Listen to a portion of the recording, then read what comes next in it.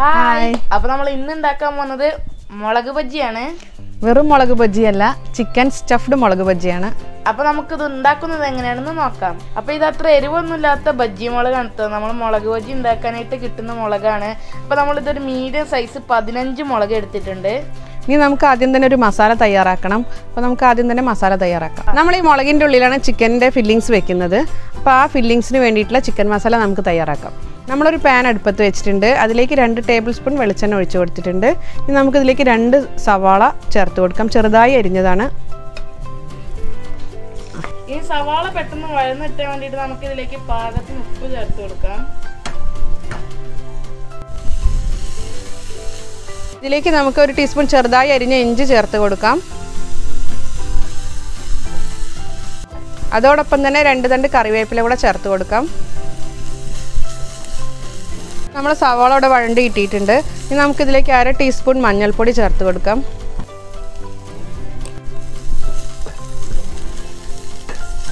അര ടീസ്പൂൺ കുരുമുളക് പൊടി കാൽ ടീസ്പൂൺ ഗരം മസാല. ഇതുകൂടെ ചേർത്ത് നമുക്ക് നന്നായിട്ടൊന്ന് അഴിച്ച് കൊടുക്കാം. ഇതിന് വേണ്ടിയിട്ട് ഇരുന്നൂറ്റമ്പത് ഗ്രാം ചിക്കനാണ് എടുത്തിട്ടുള്ളത്. ഇത് നന്നായി ഉപ്പും കുരുമുളകും മഞ്ഞൾപ്പൊടിയും കൂടെ ചേർത്ത് വേവിച്ചെടുത്തതാണ്. എന്നിട്ട് മിക്സിയുടെ ജാറിലിട്ട് ഒന്ന് പൾസ് ചെയ്തെടുത്തതാണ്. ഇനി നമുക്ക് നേരത്തെ എടുത്തു വെച്ചതാ. നമ്മൾ വേവിച്ചെടുത്ത ചിക്കൻ നമ്മൾ ഇതിലേക്ക് ചേർത്ത് കൊടുക്കാം. കുറച്ച് മല്ലിയില ചെറുതായി മുറിച്ചെടുത്തതും കൂടെ ചേർത്ത് കൊടുക്കുകയാണ്. ഇനി ഇതെല്ലാം കൂടി നമുക്ക് നന്നായിട്ടൊന്ന് ഇളക്കിയെടുക്കാം.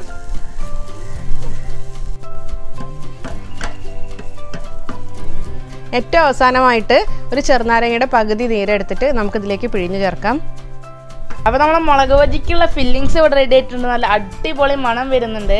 ഇനി നമുക്ക് മുളക് ബജി ഉണ്ടാക്കാൻ തുടങ്ങാം. അപ്പോൾ നമ്മൾ നേരത്തെ കാണിച്ചിരുന്ന മുളക് ബജിയുടെ മുളക് എടുത്തിട്ടുണ്ട്. അതിന്റെ നടുക്കൂടെ നമ്മൾ ഇങ്ങനെ കീറി എടുത്തിട്ട് അതിന്റെ ഉള്ളിലുള്ള വിത്തും കാര്യങ്ങളെല്ലാം നമുക്ക് മാറ്റാം. നമ്മളെ കുരുവും എല്ലാം നമുക്ക് എടുത്ത് മാറ്റാം.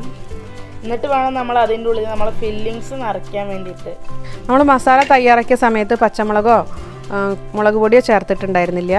അപ്പോൾ നമ്മൾ ഈ മുളകിന്റെ എരിവുള്ളതുകൊണ്ട് അത് രണ്ടും കൂടെ ബാലൻസ് ആയിട്ട് വരും. അപ്പോൾ ഇതേപോലെ നമുക്ക് ബാക്കിയുള്ള എല്ലാ മുളകും നമുക്ക് ക്ലീൻ ചെയ്തെടുക്കാം.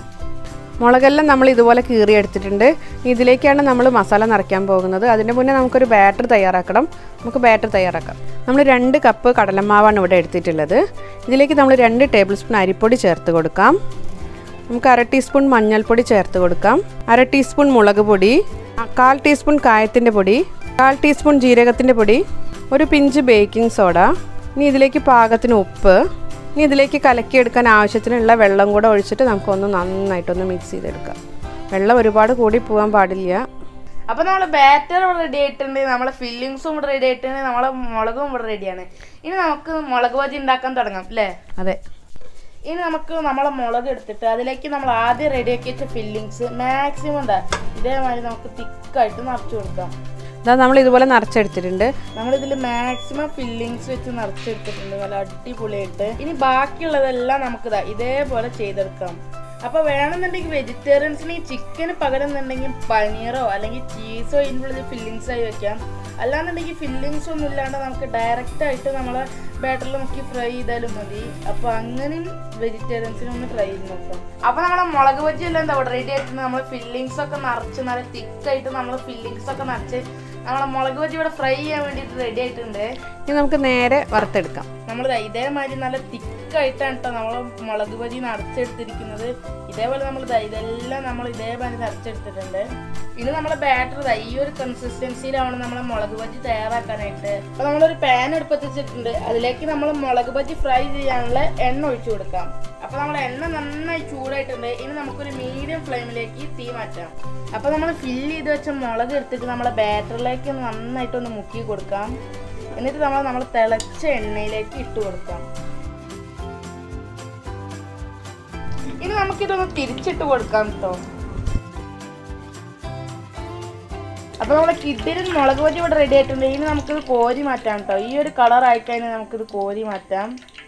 അപ്പൊ നമ്മൾ രണ്ടാമത്തെ ബാച്ചും കൂടി നമ്മൾ ഇതിലേക്ക് ഇട്ടിട്ടുണ്ട്. ഇനി നമുക്ക് ഇതും കൂടി ഒന്ന് തിരിച്ചു കൊടുക്കാം കേട്ടോ നമ്മൾ രണ്ടാമത്തെ ബാച്ചിട്ടിയും തിരിച്ചിട്ട് മറിച്ചിട്ട് വേവിച്ചെടുത്തിട്ടുണ്ട്. ഇനി നമുക്കത് കോരി മാറ്റിയെടുക്കാം കേട്ടോ അപ്പൊ നമ്മൾ അടിപൊളി മുളക് ബജ്ജി ഇവിടെ റെഡി ആയിട്ടുണ്ട് കേട്ടോ നല്ല അടിപൊളി മുളക് ബജ്ജി തന്നെയാണ്. ഇതിന്റെ ഉള്ളത്തെ ഫില്ലിങ്സ് ആണ് ഇതിൽ ഏറ്റവും മെയിൻ ആയിട്ടുള്ള ഹൈലൈറ്റ്സ് ഇതിനൊന്ന് പൊട്ടിച്ച് കാണിച്ചു തരാം കേട്ടോ അപ്പൊ നമ്മൾ ചിക്കൻ ഫില്ലിങ്സ് ഉള്ള മുളക് ബജി കണ്ടില്ലേ? എന്താ ഭംഗി. അതിന്റെ ഉള്ളിലത്തെ ഫില്ലിങ്സ് തന്നെയാണ് ഇതിന്റെ മെയിൻ ഹൈലൈറ്റ് എടുത്തു പറയാനുള്ളത്. വളരെ ടേസ്റ്റി ആയിട്ടുള്ള റെസിപ്പിയാണ് പെട്ടെന്ന് ഉണ്ടാക്കാൻ പറ്റിയ ഒരു ഈവനിങ് സ്നാക്സ് ആണ്.